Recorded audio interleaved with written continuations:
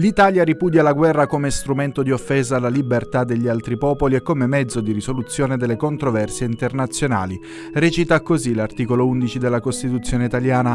Sono molti i paesi italiani che in queste ore stanno organizzando manifestazioni di solidarietà. Anche la Chiesa, su invito di Papa Francesco, si sta raccogliendo in preghiera.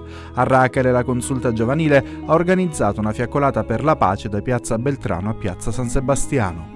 È un piccolo gesto, ma in realtà è un grande gesto perché dimostriamo di essere tutti fratelli e di essere tutti compatti come esseri umani e non come nazioni divise e popoli divisi. Quali associazioni hanno preso parte?